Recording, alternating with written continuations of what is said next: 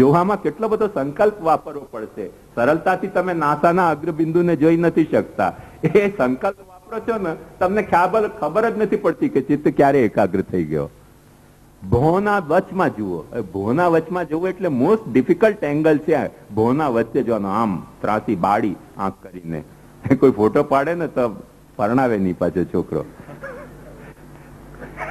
આમ ભોની વચ્ચે જોતો કોઈનો ફોટો પાડી જાય પછી છોકરીને દેખાવ કે આ ભાઈ સાહેબ છે વરરાજા એ પહેલા જ ભાગી જશે કે માફ કરો ને યાર, અમે શું ગુના કર્યો કે અહીંયા જોતા આવી ત્રાસી આંખવાલાને કોણ છોકરી આપે?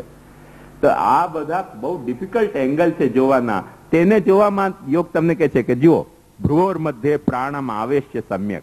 એ પ્રાણનું આવેશન કરીને ઇન્દ્રિયને ત્યાં એકાગ્ર કરતાની સાથે જ ચિત્ત એકાગ્ર થઈ જશે. એ કિમ્યો છે, ચિત્તને એકાગ્ર કરવાનું, કે જે સ્વભાવથી ચાલી રહ્યું છે એને સંકલ્પથી પકડી લો. જે સંકલ્પથી ચાલી રહ્યો છે, એને સ્વભાવથી પકડી લો. તો ચિત્ત એકાગ્ર થઈ જશે. જે સ્વભાવથી ચાલી રહ્યો છે, એને સ્વભાવથી પકડશો તો ચિત્ત કોઈ દિવસે એકાગ્ર થાય નહીં. જે સંકલ્પથી ચાલી રહ્યો છે, એને સંકલ્પથી પકડશો તો કોઈ દિવસે ચિત્ત- એકાગ્ર થાય નહીં. કેમ કે ભગવાન ચોખ્ખી આજ્ઞા કરે છે ન જાતું કામ કામા નામ ઉપભોગે ન શામ્યથી હવિષા કૃષ્ણ વર્તમેવ ભૂય એવા અભિવર્ધતે જે તમારા સંકલ્પ પ્રભવાન કામાન ત્યક્તા સર્વમ અશેષત સંકલ્પ પ્રભાવ કામને છોડી દો ને કર્મ કરવા માંડો, ચિત્ત એકાગ્ર થઈ જશે.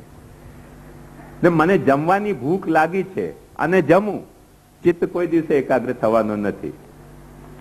પણ જે કામમાં બાબતમાં મને કશો જેમ તમારું કઈ અંગ એવું કે છે? આંખ કે છે કે તમારે શિબિરમાં ભાગ લેવું? કાન કે છે કે શિબિરમાં ભાગ લેવું? કે પીઠ કે છે કે શિબિરમાં બેસા રહેવું ને પીઠને દેખાડવું? કઈ નહીં. સંકલ્પ પ્રભાવ કામ નથી. તમારો કઈ કર્તવ્ય બોધથી પ્રભાવ કામ છે, તો તમારો ચિત્ત એકાગ્ર થઈ જશે. હવે જો તમને એમાં સ્વભાવ સિદ્ધ થઈ ગયો કે છ દિવસથી ચાલી રહ્યો છે, ચાલી જ રહ્યો છે, ચાલી જ રહ્યો છે, હવે એ તો સાંભળવું એ મારો સ્વભાવ થઈ ગયો. એટલે પછી સ્વભાવ થઈ ગયો એટલે ઊંઘાવા માંડે. સાંભળતા સાંભળતા ખબર જ ન પડે ક્યારે ઊંઘ આવી ગઈ. આવું હોય છે. કોઈ પણ કામ આપણે સ્વભાવથી કરતા હોઈએ તો ચિત્ત એકાગ્ર ન થાય. સંકલ્પથી કરતા હોઈએ તો ચિત્ત એકાગ્ર ન થાય. પ્રારંભિક તબક્કાની વાત છે, હો. સ્વાભાવિક કામને સંકલ્પથી કરો તો ચિત્ત એકાગ્ર થઈ જાય. સંકલ્પિક કામને સ્વાભાવિક રીતે કરવા માંડો તો ચિત્ત એકાગ્ર થઈ જાય. એટલે યોગમાં તેથી જ એક શવાસનની પ્રક્રિયા બતાવવામાં આવી છે. શવાસનની પ્રક્રિયા ચિત્ત એકાગ્ર કરવાની અચૂક ઈલાજ છે. બસ કાંઈ નહીં કરવાનું. સંકલ્પથી તમે હાલી રહ્યા છો, ચાલી રહ્યા છો, બધું જ કરી રહ્યા છો ને. બધા સંકલ્પ છોડીને જમીન ઉપર સોઈ જાઓ, ચુસ્તા ચિત્ત એકાગ્ર થઈ જશે. ઊંઘ ના આવતી હોય, શવાસન કરો, ચિત્ત એકાગ્ર થઈ જશે, ઊંઘ આવી જશે.